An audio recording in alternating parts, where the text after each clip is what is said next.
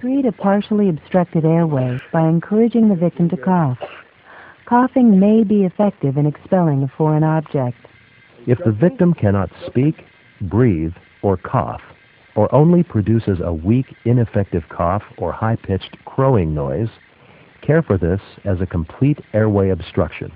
To care for a responsive choking victim, stand behind the victim and place your fist just above the victim's navel.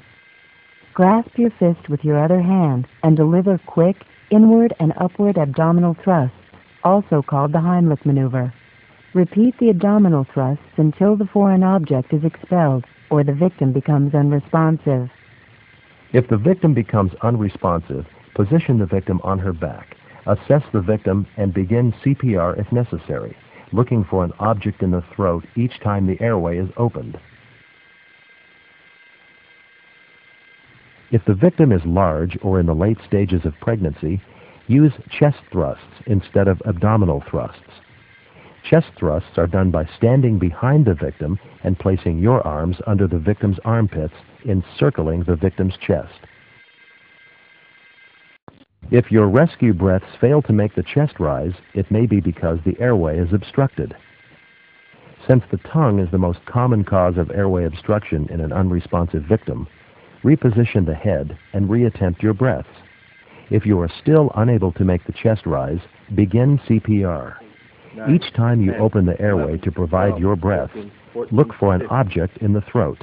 If you see an object, remove it.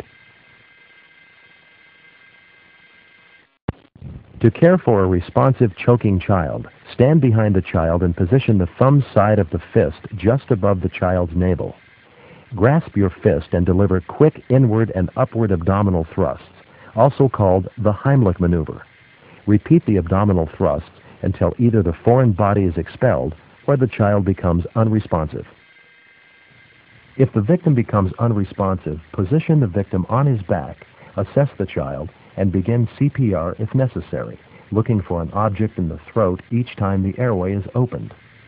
If you are alone, provide up to one minute of care Activate the EMS system and return to provide care for the child. If your rescue breaths fail to make the chest rise, it may be because the airway is obstructed. Reposition the head and reattempt your breaths. If you are still unable to make the chest rise, provide CPR. Each time you open the airway to provide your breaths, look for an object in the throat. If you see an object, remove it. One. The steps for relieving an airway obstruction for a responsive infant are similar to those for a responsive child.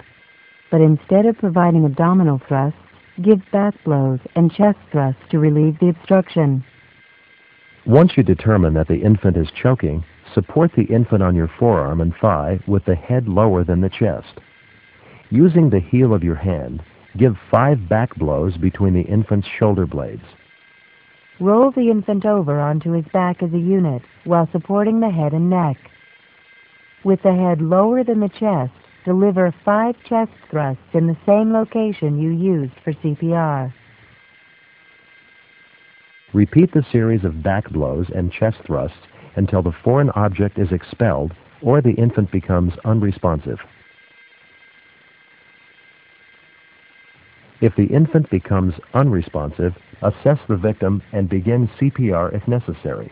Each time you open the airway to provide a breath, look for an object in the throat. If you see an object, remove it.